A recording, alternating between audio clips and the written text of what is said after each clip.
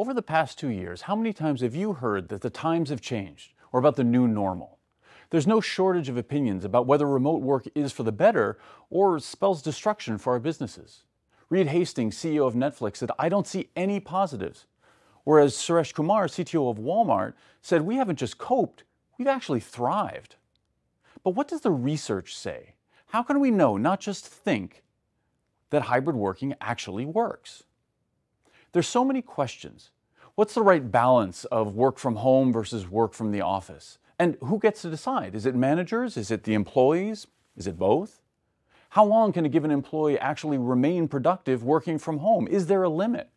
And who gets to work in each way? What it should be based on in terms of criteria? Should it be based on seniority, task, personal situation? The list goes on and on.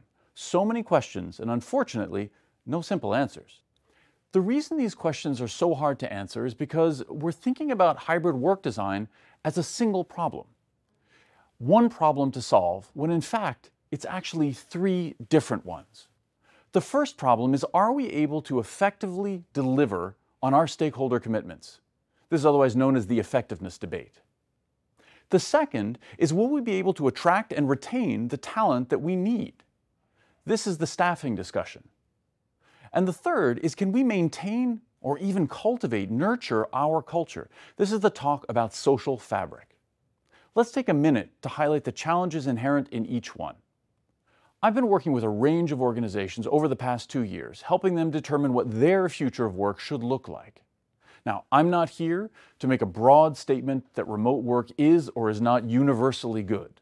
I think we're all smart enough here to know that nothing works all of the time. I am, however, here to warn you that we need to be wary of our data. Let me give you a couple of examples. Many people point to their organization's effectiveness during COVID as proof that they're actually good at remote work. Now, it is proof that remote can work, but not that it necessarily will.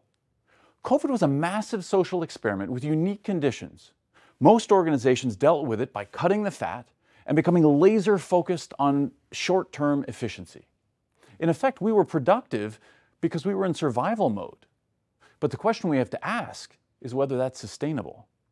Data shows around the world that people's working hours have increased, and many say that they actually find it harder to delineate work life boundaries. Data also shows that the experience wasn't the same for everyone, with The Economist data showing that parents of school age children experienced much greater stress than many others. And data from Microsoft shows that it's actually even changing the way in which we work, with people working more hours but less collaboratively. The question of whether we can effectively work remotely needs a contextual answer. Contextual based on the people who are doing the work and the tasks that they're trying to accomplish. Remember, one size fits none, and we need to think about the sustainability of our effectiveness. When it comes to the staffing discussion, ask anyone who has recently been involved with hiring. The most common question that recruiters are being asked these days what is your flexible work policy? In effect, we're facing the same escalation of perks popularized by tech companies during the boom. Do you have a barista pulling the perfect flat white in the lobby? Do you have nap pods, a ball pit, a slide? What about on site daycare? Right? So that instead of work from home, we actually bring home into work. Your current or potential future employees are now weighing your hybrid work policy as a key criteria in their decision of where they want to work. And that is the crux of this staffing challenge. What you need to recognize is that the comparison isn't actually between work from home and office work. Instead, it's really between the perception of work from home versus the perception of work from the office. And you need to reclaim that narrative. Let me give you a couple of examples. The first is what I call the recovered commute. Many people have told me, I've saved so much time now that I don't have to commute. My challenge to them what did you actually do during your commute times? Maybe you read, maybe you caught up on calls or emails, maybe you just use it as time to decompress. Personally, I used to get an hour to shake off a particularly rough, annoying, frustrating day before I got home. Now it takes me exactly six seconds to be immersed in my family upstairs. Another example, the after meeting post mortem debrief over a coffee. Right? We use that to do some relationship repair, maybe to do some collective sense making. The most important thing to recognize here is that what matters most is the experience, not just what the policy is. We need to reclaim the narrative to help ensure that everybody recognizes what a given approach either buys or loses for them. And this brings us to the social fabric.